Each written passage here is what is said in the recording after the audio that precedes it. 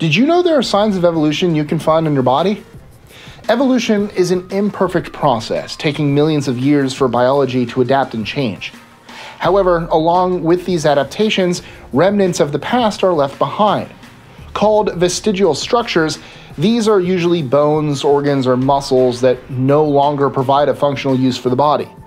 They give scientists and researchers a unique window into how our bodies have evolved. Curious to find out what evidence lies right in front of you? I'm Mike with List 25, and here are 25 signs of evolution you can find on your body.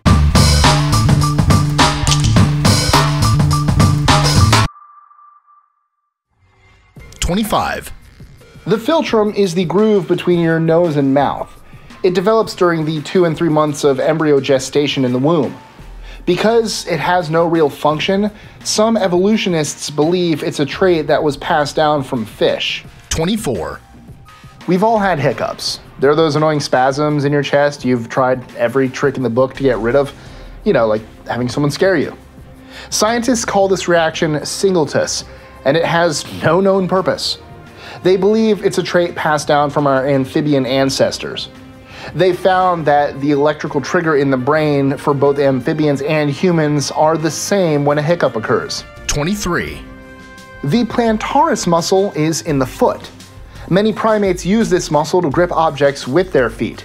Humans also have this muscle, but it lost its function and purpose. Because of this, doctors will use this muscle when doing reconstructive surgery since it has no use in the foot. 22. The Darwin tubercle is a bump on the upper part of the human ear.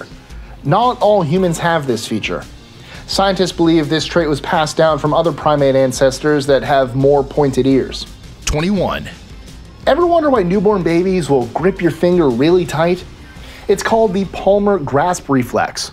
In most cases, the baby's grip is so strong it can support their body weight. Scientists believe this reflex came from our hairier ancestors. Infants of other primate species will grip onto their mother's hair to go from one place to another. 20. Around your ears are the auricularis ear muscles that are mostly too weak to use. While the reflex still exists for some, most people can't utilize their original purpose, which was to move the ears back and forth. I can't do it. 19. The phrenic nerve controls the contraction of the diaphragm. Similar to fish, it comes out the brainstem from the base of the skull and goes all the way down the neck and chest cavity to the diaphragm, leaving it exposed and vulnerable.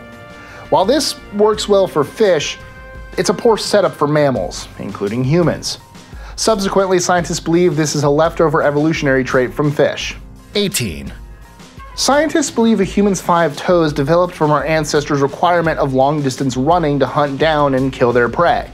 However, today, while some of our toes are important for balance, our pinky toes are mostly useless. It's thought there's a high probability that humans will eventually evolve out of having a pinky toe altogether. 17.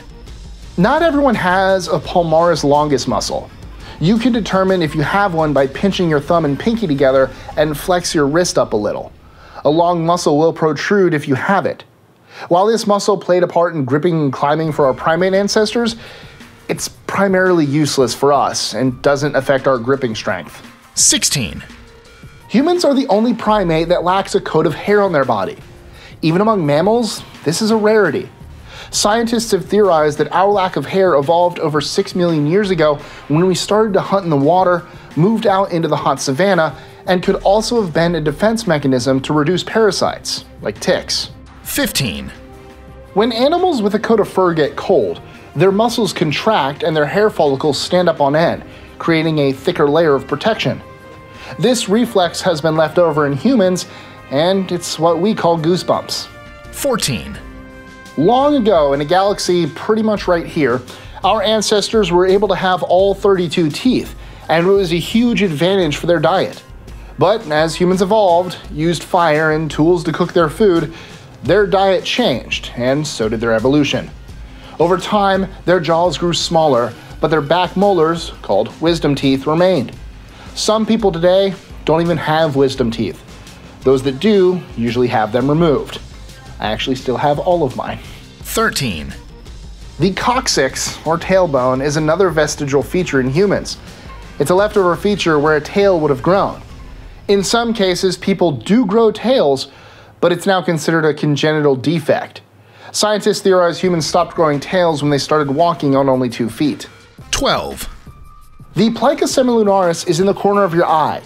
It's a leftover part of the nictitating membrane seen in other mammals and vertebrates that acts as a third eyelid. Over time, humans have lost the use of this feature, but the plica semilunaris is the evidence we once had it. 11, Also called the prostatic utricle, the male uterus is an undeveloped remnant of the female reproductive organ that hangs off the male prostate. 10, Somewhere along the evolutionary road, humans lost the ability to produce their own vitamin C. Almost 4,000 other mammals have this ability. Through DNA testing, we've discovered one of the genetic structures that once helped us create vitamin C was L-gulonolactone oxidase, but it's now a disabled gene.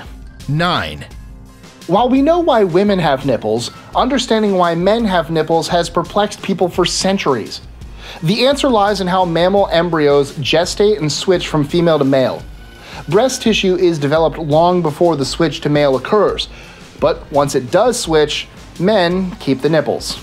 8, Tonsils are part of your lymphatic system and can help ward off disease. Their function, however, is more redundant than useless.